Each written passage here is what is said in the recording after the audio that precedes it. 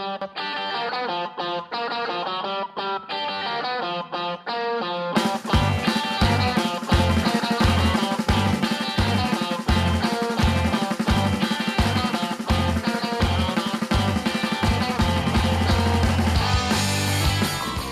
curiosos, estamos ya de vuelta y como siempre acompañadas de muchas curiosidades.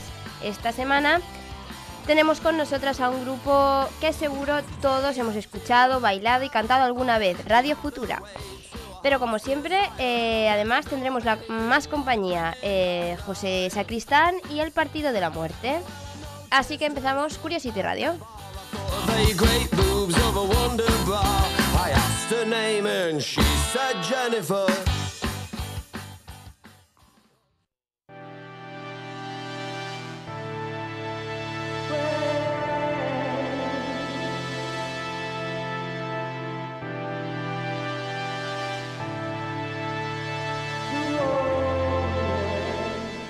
Gana 63 63.000 euros, se los gasta en cuatro meses y no le dice nada a su mujer.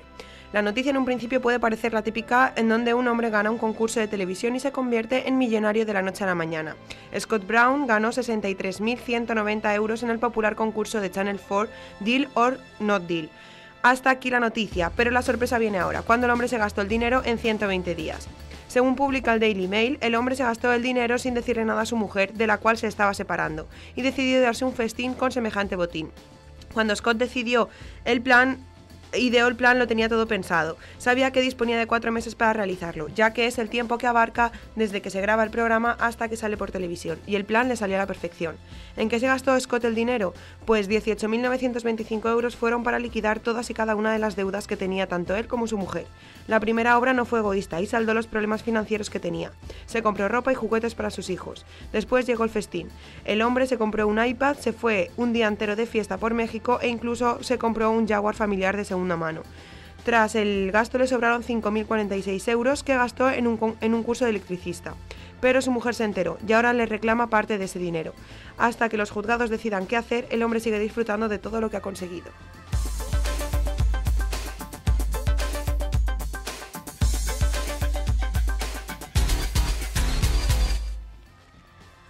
Un hombre chino vivió seis meses en una cueva para ahorrar dinero.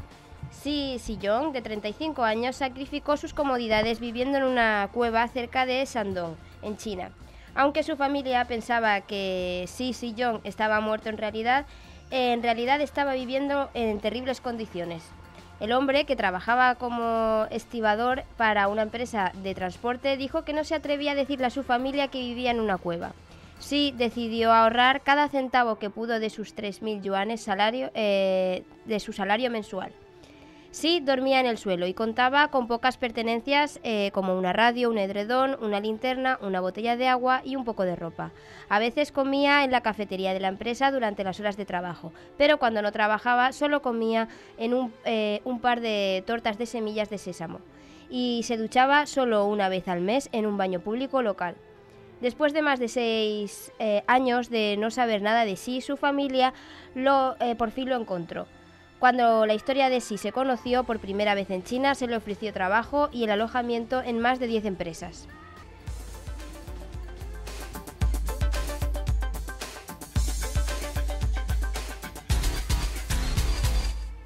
a la cárcel por conducta obscena en la biblioteca. Esta estudiante universitaria de Estados Unidos, llamada Kendra Sutherland, podría enfrentarse a pagar una multa o ir directamente a la cárcel por grabar un vídeo en la biblioteca de la universidad en un tanto erótico y provocativo. Kendra se grabó mientras se tocaba durante 31 minutos en plena biblioteca de la Universidad de Oregón y después tuvo la genial idea, eh, por así decirlo, de publicarlo en YouTube. Las imágenes pronto se convirtieron en un fenómeno viral entre los alumnos de las universidades, lo que llevó rápidamente a la detención de la joven. Ahora se enfrenta a una pena de hasta un año y medio de prisión, además de una multa de nada menos que de 5.470 euros. El tribunal que lleva el caso le ha, declarado culpable por conducta obscena según los medios locales.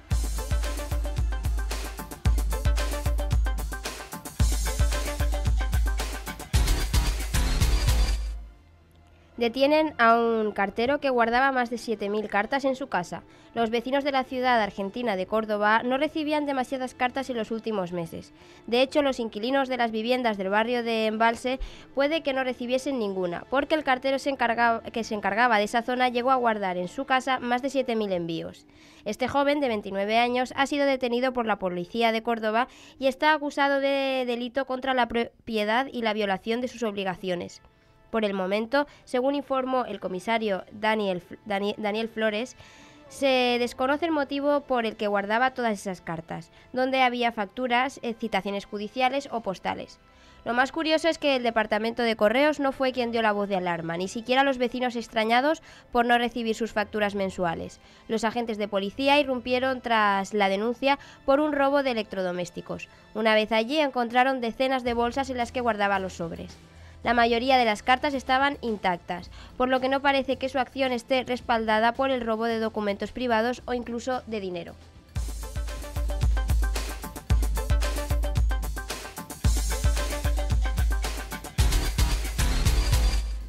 Bueno, pues un chico sabio, este hombre, Sí. que robaba las cartas para nada.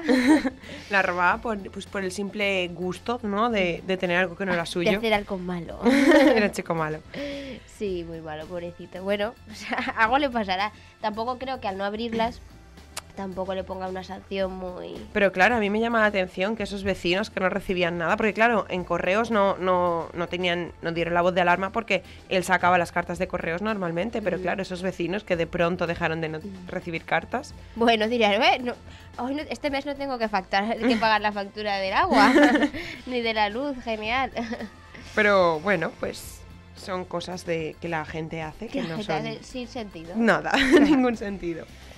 Y como la chica de la biblioteca, ¿no? Que mucho sentido no tiene, ¿no? Estar tocándose ella sola 31 minutos para después colgarlo en YouTube.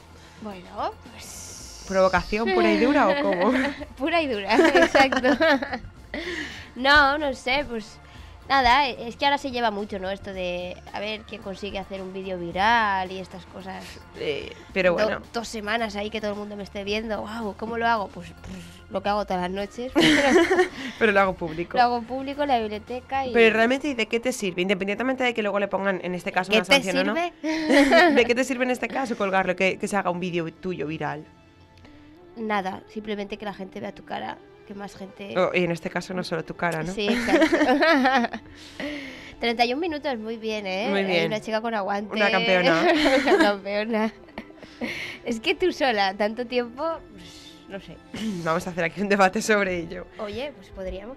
Y bueno, pues otro que estaba también solo, que también pues no sabemos lo que haría, lo que dejaría de hacer, Buenas era, noches, en la cueva. era el, el hombre chino, Sí, sí, John, Sisi Young, que de- dijo, gano poco, pues lo quiero todo. Lo quiero ahorrar. Claro. Y en lugar de, pues no sé, de con lo poco que tengo disfrutarlo en parte y otra parte, pues ahorrarlo, si lo quieres ahorrar, no, voy a ahorrarlo, Voy a ahorrarlo todo. todo. Y voy a vivir en pésimas condiciones de no comer, de no ducharme.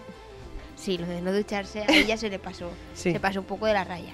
Porque si puedes ir una vez por, a la- al mes al baño Puedes público, esto puedes veces. ir más veces. Bueno, a lo ¿Qué mejor es que, que costaba dinero, ¿no? Supongo. Seguramente. Entonces, Sí. bueno, pues si, si estaba en modo ahorro, Pero a ver, no sé, te buscas un lago. En China tiene que haber lagos. seguro que al lado de la cueva había de donde sacaba el agua, seguro que tenía un lugar Por para... si te pegas un refresquito, ¿sabes? Porque los, tus compañeros de trabajo pues lo padecerían. Y eso, que tú tengas esa idea y quieres hacer esas cosas, vale. Pero respeta a los demás. Sí. Y, pero también sus familiares lo daban por muerto, pero él seguía trabajando. Pero bueno, al final ha sido una muy buena táctica. Porque ahí en China, ¿sabes? No apareces dos días, estás muerto. En total no me voy a enterar ni dónde está ni cómo ha podido ser. Hay mucha gente. Claro. Eh, pero me llama la atención que después de toda esta aventura se le, hayan se le hayan ofrecido mejores puestos de trabajo e incluso un alojamiento. ¿Sabes? Le ha salido muy bien la Sí, jugada. sí, sí. Deberíamos hacer todos. Sí, todos los que todos estamos en paro. yo eso. vivo, yo vivo en una cueva, llevo como 10 años viviendo en una cueva. Sí, Pero tendríais que verla, lo mal que me paso yo aquí. Porque no es que se duche una vez al mes, es que no se ducha. es, es una vez al año, es Desde modo que- ahorro de verdad.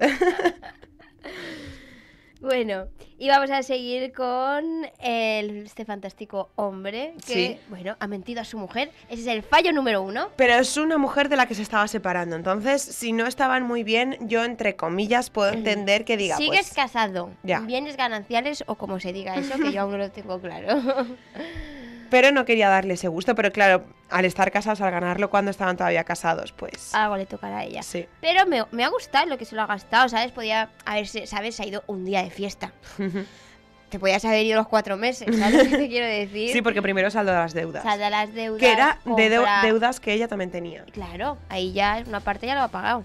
Compra juguetes y ropa a sus hijos, ¿sabes? Que se compra un coche, pero bueno, que tampoco es de Es un segunda coche mano. y es un coche familiar, además. Claro, es que en verdad es una buena persona este hombre. Su figura. me, me ha gustado lo de, ¿sabes? Tenía claro que era cuatro meses, desde que se grababa hasta que se emitía el programa. Yo me lo veo ganando y todo el mundo ahí con la euforia, todo el plato con la euforia. Y entonces en ese momento él preguntando a cualquier redactor, perdona, perdona, ¿esto cuándo sale? Esa famosa frase de la tele. ¿Sabes? Y estaría él, llegaría a su casa todo emocionado porque ha ganado una pasta, pero no podía decir nada. Tenía que ¿Qué, estar qué tal? Eh, Nada. Nada. ¿Qué tal el día? Nada Trabajo reseñable. muy aburrido. En fin, después de estas locuras varias, porque realmente nuestras noticias siempre son de, de cosas que la gente hace, no son casualidades, son gente No, que... no, no, gente que existe y que hace estas cosas. Sí, o sea, que es el ser humano.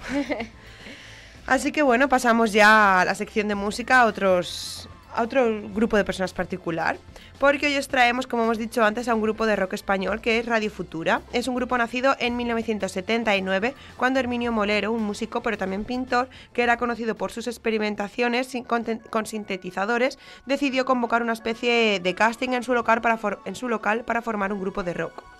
Luis y Santiago Auserón fueron dos de los presentes en el casting, pero también acudieron Enrique Sierra, que venía de ser el guitarra de Caca Deluxe, eh, y Javier Pérez Grueso, que se encargaría de la percusión electrónica. Además estaba Carlos Vázquez, Carlos Velázquez, eh, cuyo nombre artístico era Solrak, es su nombre al revés, Carlos al revés, y el propio Molero en los sintetizadores y como compositor. Esta fue la primera formación de Radio Futura. El pintor Manolo Campoamor fue quien bautizó al grupo, cuyo nombre deriva eh, del- de una emisora de radio libre italiana. La música de Herminio Molero consistía principalmente en una fusión entre música electrónica música y música tradicional española. Enrique Sierra aportaba su punto heavy y los hermanos Auserón aplicaban la teoría musical. Querían proporcionarle al ro- al rock un aire popular y callejero y dar de nuevo un nuevo enfoque a la música. En 1980 publicaron su primer álbum Música Moderna, gracias a los contactos de Herminio Molero en la industria musical. Supuso un estallido en los medios y tuvo un éxito inesperado fuera de los ambientes especializados, fruto quizá del intento de la compañía discográfica por convertirlo en un grupo juvenil para fans. La compañía se había eh, creído eso de enamorado de la moda juvenil sin ser consciente de su carga irónica. Esto se ha comentado muchas veces que la canción de Enamorada de la moda juvenil era una especie de crítica a lo que se- a lo que estaba ocurriendo realmente en esos años y bueno, pues Consiguieron lo contrario. sí, todo lo contrario y fueron pues eso, un- unos ¿cómo decirlo? Pues eso, un grupo de fans de lo que más tarde fueron los Backstreet Boys o a día de hoy es Justin Bieber, ¿no? Y Me gusta hacer ese tipo de ese hombre no podría salir en este programa. no tiene cabida su nombre. Vale, perdón, lo borro. Nah, es broma. Bueno, he de decir que este es el primer grupo en el que, del que hablamos aquí en Curiosity que consigue eh, el éxito en el primer disco. Sí, por fin. Son extraños, son raros, por eso los hemos traído hoy. Pero porque fue un movimiento pues eso de, de masas, ¿no? ya estaba hecho, ¿no? Preparado. Sí, estaba, estaba precocinado, ya fue meterlo al microondas. Dijeron, tenemos que sacar canciones que a la gente le guste sí o sí. y que mucha gente las siga. no puede ser que haya unos pocos, no a todos. A todos, tiene que ser a todos. Vamos a vender esto como... Y a varias edades. Exacto. Así que bueno, pues por si hay alguno todavía no sabía que Enamorada de la Moda Juvenil era una especie de crítica a la sociedad del momento, pues os dejamos ahora con la canción y la escucháis y, ya valoráis vosotros. Así que os dejamos ahora con Enamorada de la Moda Juvenil de Radio Futura.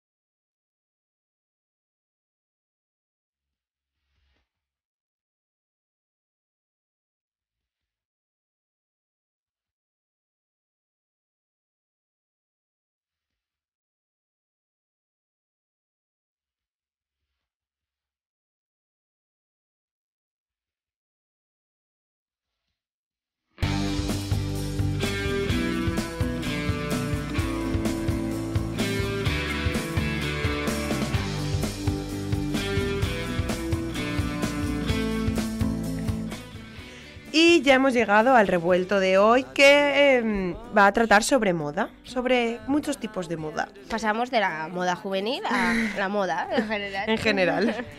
Por ejemplo, en la antigüedad, como no existía el concepto de modelos y pasarelas, los diseñadores mostraban sus prendas en pequeñas muñequitas y los colores se utilizaban según el estatus social al que se pertenecía. Ay, qué bonito. De ahí las miniaturas que muchas veces Ay, vemos. entonces hacían la ropa en, en escala, pequeñito, Sí. y se lo ponían muñecas. Sí. Ah. Y era de si tú no eres noble, tú no puedes llevar ropa de este color.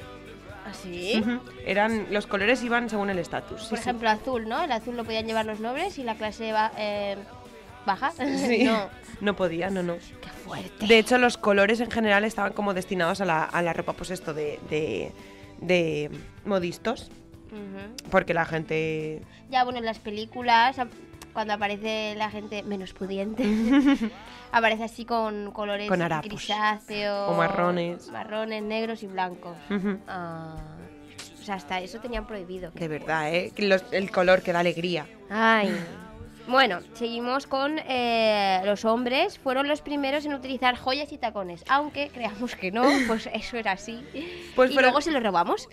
Fueron los primeros básicamente porque eran quienes tenían el poder en la familia, entonces bueno, pues eh, las joyas era pues por ese poder, era una, un alarde, y los tacones pues era pues también por ese complejito que a veces tienen algunos. Sí, sí, que tienen que ser mucho más altos y mucho más grandes. Después los tacones se quedaron como, como una especie de, de cadena, entre comillas, para la mujer para que no pudiese huir. Pero bueno, eso ya os lo contaremos en otro Oh, programa. Los tacones cosas nos enseña Noelia. Nosotras estamos, yo no, pero hay mujeres que, vamos, están súper a favor de Sí, sí, ellos. sí. Y se los ponen y... Todo y el día. Y no sienten los pies, pero no importa. No pasa nada. Porque hay que llevarlos. Yo entiendo que cierta ropa queda bien, muy bien con zapatos, pero ante todo está mi comodidad y después ya está la estética. Claro. Y eso es así. Pues sí. Bueno, en el siglo XV eh, las mujeres embarazadas estaban eh, tan de moda que algunas se colocaban almohadas en sus vientres para parecer embarazadas. Esto fue real, ocurrió. Pasaba y bueno, pues os lo hemos contado aquí porque Nos Es extraño, Nos sí. parece curioso. O sea, imagínate pues a tu vecina del quinto Que de todo el año embarazada. O de pronto un día, ya no solo todo el año, sino que de pronto un día te la encuentras. Sí, y dices, eh, ¿tú estabas embarazada? No, es que me gusta. ¿Cómo se puede llevar? de- o sea, ¿cómo puede estar de moda un embarazo? Pues No- os lo pregunto a vosotros, ¿por qué llega el ser humano a esta conclusión? Mm, bueno, ¿por qué está de moda? No sé, hay tantas cosas que están de moda. Las barbas. Las barbas.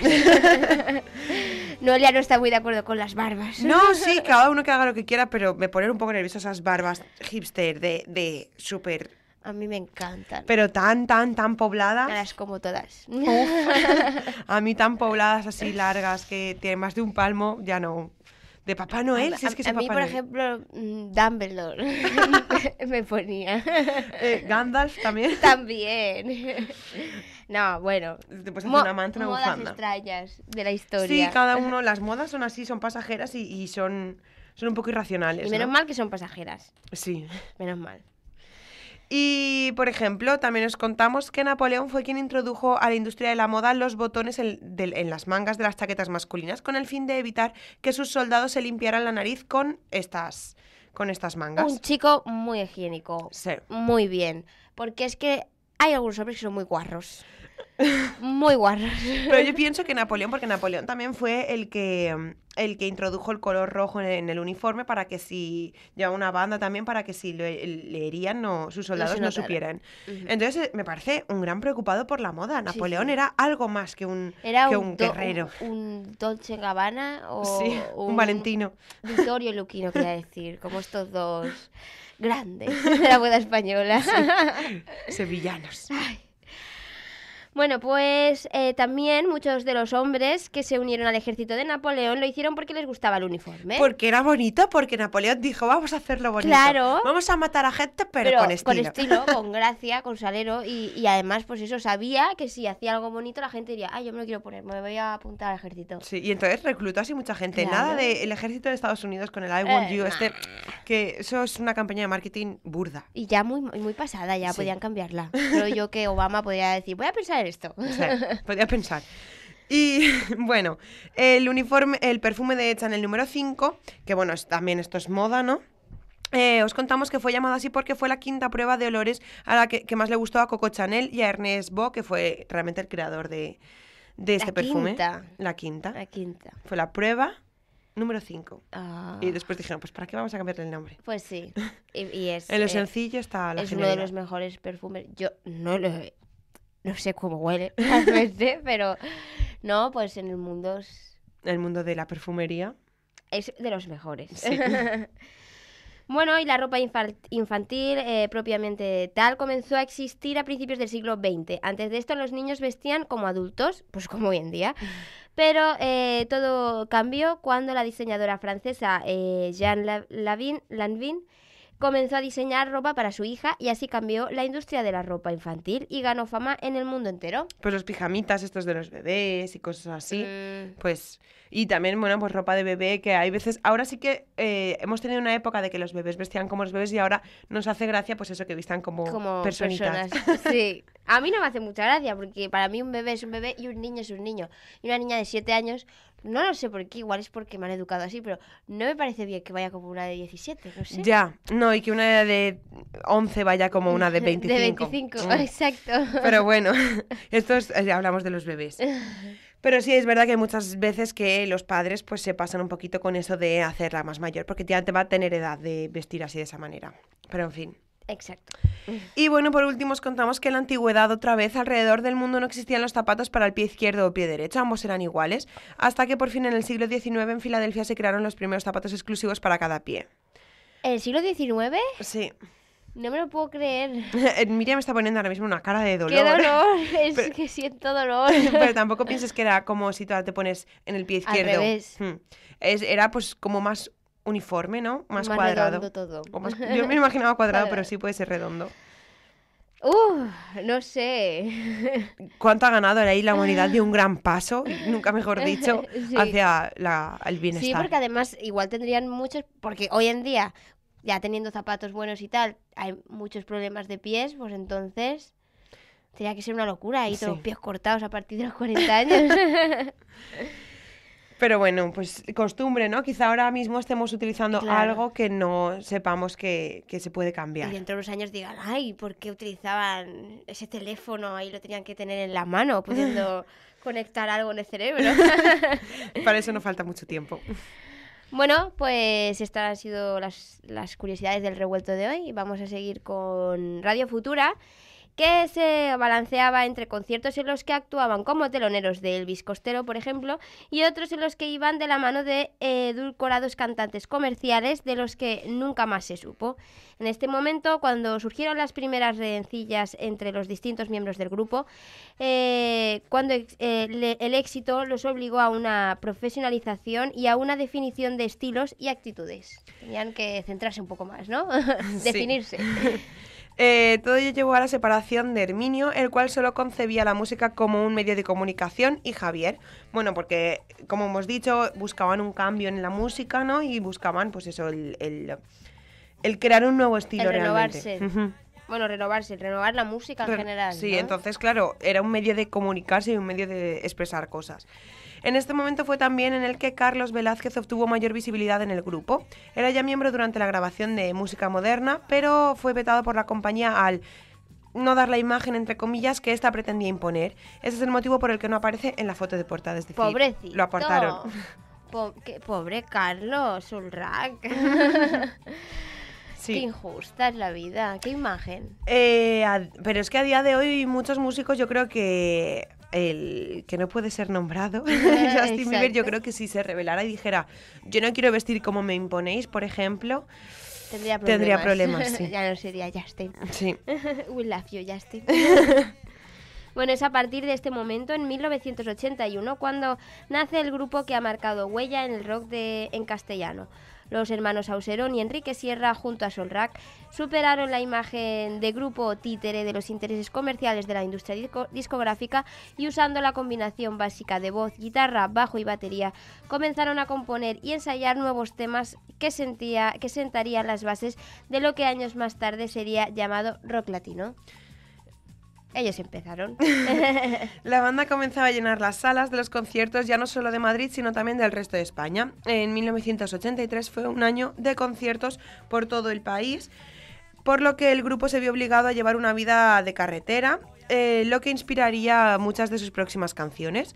En este tiempo Radio Futura tiene ya un enorme prestigio a nivel popular. Manejan un repertorio no grabado en ningún álbum, pero escuchado por la radio, por lo que todo el mundo conoce sus temas y tararea las letras en sus conciertos y lo baila y es como un medio de difusión que aunque no estén en los álbums, pues se... Sí, sí, se, se distribuye, Sí, la sí. gente lo, lo llega a escuchar. Porque era como, no, es el típico, no era el típico grupo de lo escucho en la radio y cambio. Era como, oh, Radio Futura. Futura.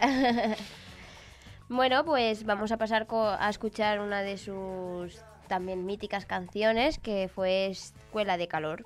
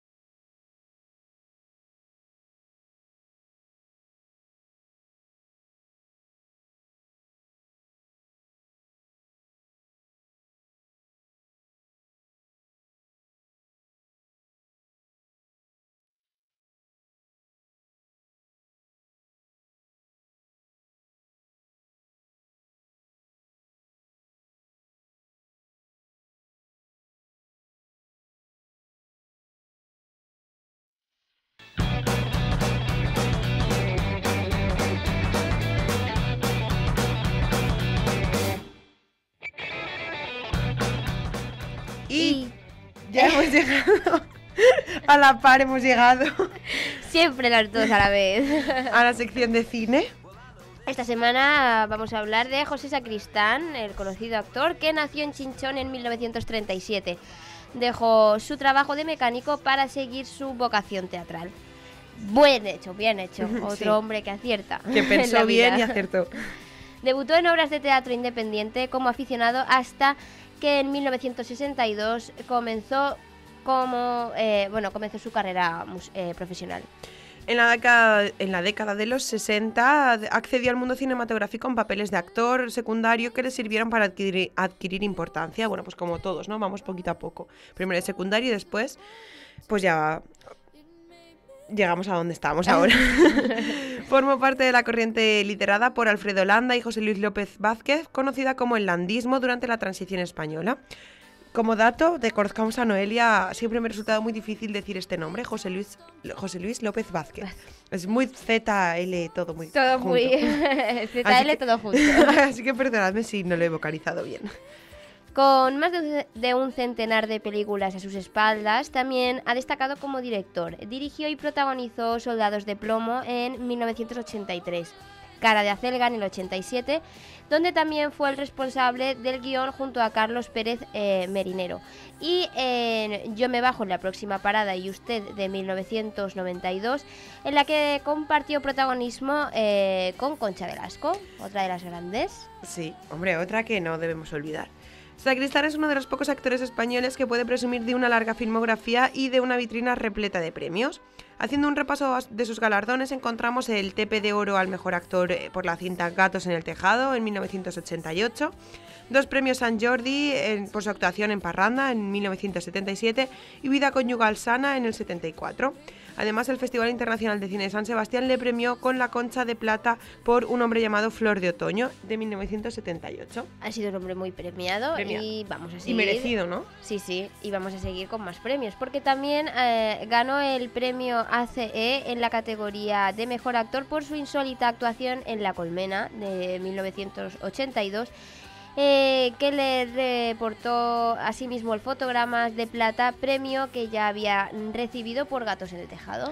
Y finalmente, una asociación internacional, la de críticos de Argentina, reconoció su carrera y trabajo otorgándole el Cóndor de Plata al mejor actor de reparto por Un lugar en el mundo en 1999. José Sacristán siempre ha sido un actor estrechamente vinculado al teatro y entre sus últimos trabajos destaca el musical Hombre de la Mancha, en el que compartió protagonismo con Paloma San Basilio y en el que sacó a relucir una faceta hasta ahora desconocida, la, musical. Pero además ha demostrado que siempre ha tenido un hueco para el cine. Siempre, pues, es, yo creo que es el- lo que más le gusta, ¿no?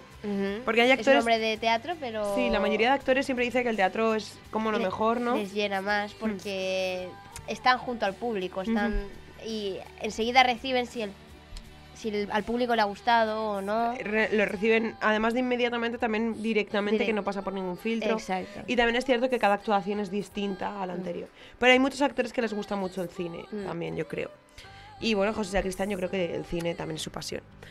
Y bueno, como para finalizar, pues comentaros que sus últimos proyectos cinematográficos han sido Fumata Blanca en 2002, Roma en 2004, Cosas que hacen mm, que la vida valga la pena en 2004 y La vida empieza hoy en 2010. Como muy positivo todo, ¿no? Fumata Blanca, cosas que hacen que la vida valga la pena, la vida empieza Pero hoy. hoy sí, él se embarca en proyectos. Un canto a la vida y a la alegría. Claro, es que es un hombre ya pues que ha vivido, lo ha vivido muy bien y se puede permitir hacer estas películas. Y bueno, eh, Magical Girl también es una película muy recomendable en la que él sale y muy recomendable de 2014 y que os la recomiendo encarecidamente.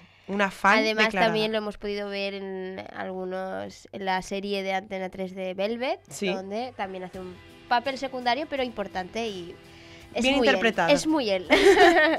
Es muy importante, yo creo que también, no, no por encasillarte, pero sí que los actores, pues eso se puede decir, que es tengan muy él. sí, su personalidad, Sí. ¿sabes? Que no un día sea súper gracioso y otros que puedan hacer todo tipo de papeles, pero que no salgan de su personalidad. De perso- eh, porque yo creo que así transmiten mejor también. Exacto. No queremos decir eso encasillar, pero sí, pues eso, una manera de transmitir. Bueno, y vamos, seguimos con Radio Futura. Eh, fue, seguimos con el grupo que fue considerado el mejor grupo español de la década de los 80 por diversas emisoras de radio y revistas especializadas y nombrado en 2004 el mejor grupo español de los últimos 25 años, ni más ni menos, ¿eh? grupo español, que le quitó a muchos otros grupos esta posibilidad. Sí. Bueno, fue nombrado así por los oyentes de Radio Nacional de España. En 2006, a través de una encuesta entre 156 músicos, la revista Rolling Stone incluyó siete de sus canciones entre las 200 mejores del pop rock español, el único grupo en llegar a esa cifra. En 2012, el periodista y crítico musical eh, Jesús Or- eh, Ordovás los definió como el grupo de rock más importante e influyente de la reciente historia de la música española.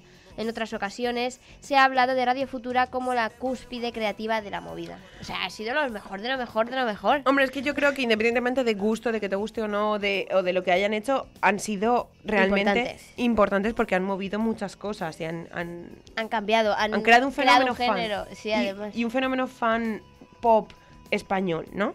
pop rock. Pop rock. Noelia Bueno. lo considera pop. Pop rock su en su no época, a, a día de hoy yo lo consideraría pop. Eh, y bueno, el 9 de marzo de 1989, Gran ese año. tuvo lugar un concierto un tanto Ese especial. año pasa de todo, ¿vale? Todo. Radio Futura estaba presente en ese año también, como no podía ser de otra manera. En la fiesta del diario Pop de Radio 3 eh, y por una noche Radio Futura y el último de la fila se unieron para formar un grupo al que bautizaron Los Peatones, o sea, un grupo nacido y muerto, Muerto en el un- mismo día, en la una sola noche.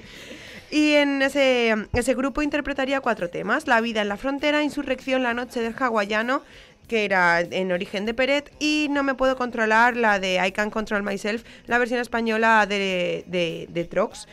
Eh, dicha colaboración sería recogida en un disco pirata, entre comillas, porque realmente no fue un disco de, de estudio, eh, que fue recogido pues por eso, por el último de la fila, eh, que se En llamaba Fragmentos. Fragmentos.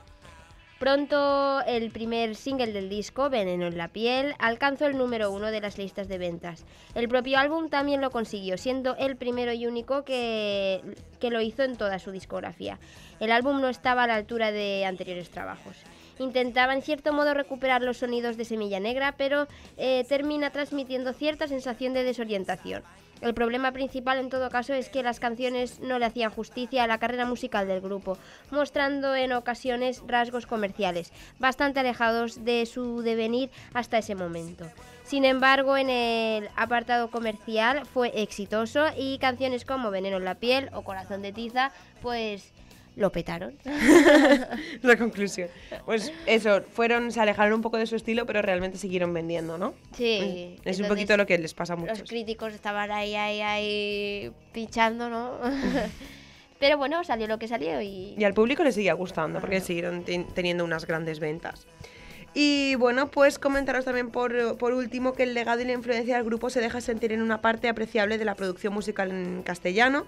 De algún modo se ha convertido en una de las bandas por antonomasia de la música popular, con numerosas bandas o solistas que los citan como referentes, tanto entre los que compartieron un momento musical como de los que surgieron posteriormente como Danza Invisible, Amaral, Estopa, El Canto del Loco, que derivan su nombre de, de una propia canción suya, que es la canción del Canto del Gallo.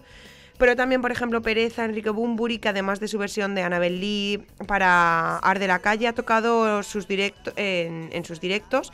Pero también Big Noise, Fiti Fiti Paldis, Andrés Calamaro. y Vamos, una muchísimo. lista enorme de, Bueno, de gente que viene detrás. Y que, y que consideran, los consideran como un referente de la música. Y que cogen parte de su estilo también. Ujú.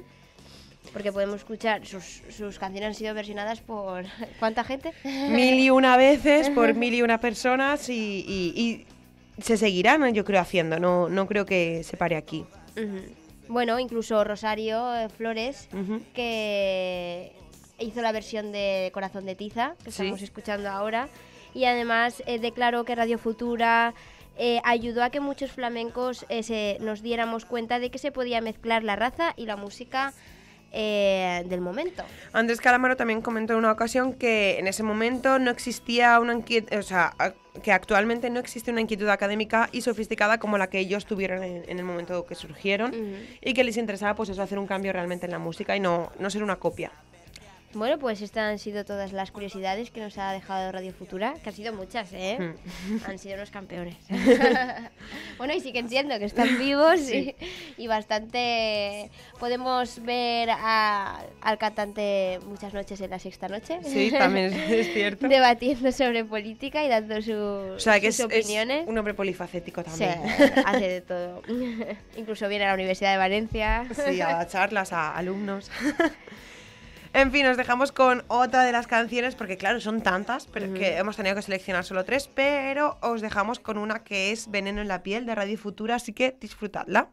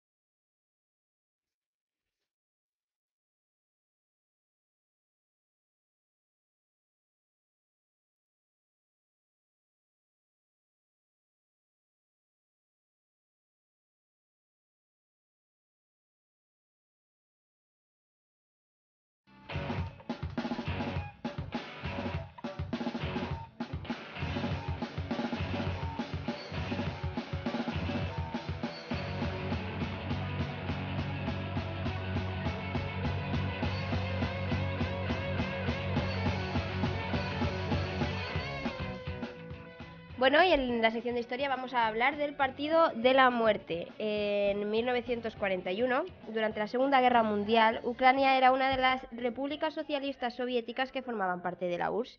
Kiev, la capital, fue ocupada por los nazis hasta el 6 de noviembre de 1943 y durante esos años la ciudad estuvo llena de refugiados de guerra que se les despojó de todos sus bienes y para los que sobrevivir a un nuevo día era toda una odisea. Una de las cosas que suprimieron los alemanes fue el Campeonato Nacional de Fútbol. Entre los más damnificados se encontraron el Dinamo de Kiev, pues estaba fundado por miembros de la policía comunista.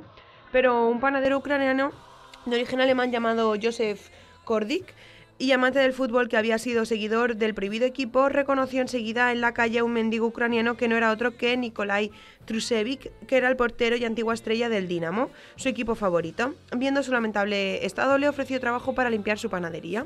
Disfrutando de las historias de los años dorados eh, que le contaba el jugador de fútbol, eh, eh, tuvo el sueño de reunir a todos los antiguos jugadores de su equipo favorito y fundar un club de fútbol. Con la ayuda de Trusevic localizó entre los mendigos al resto de caídas estrellas y les ofreció trabajo para ocultarlos de los soldados nazis.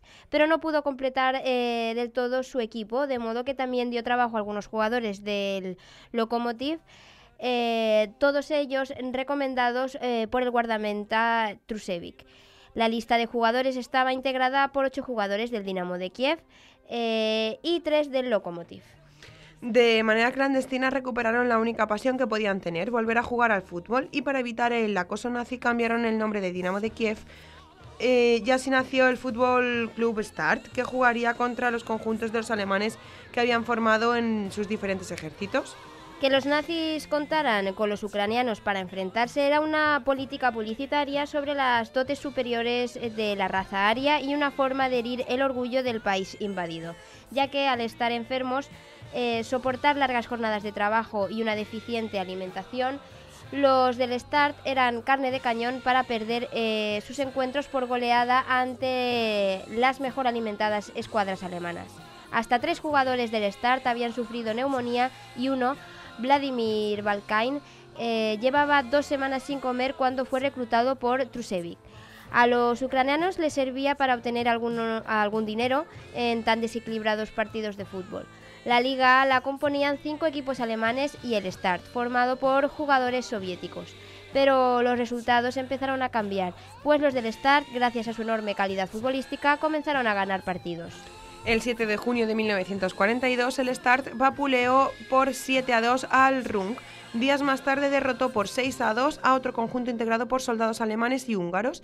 Después llegaría el 11 a 1 frente a un conjunto de soldados rumanos que apoyaban a los nazis. Bueno, vemos que, que no eran victorias de por uno o dos goles. Como el Real Madrid y Barça.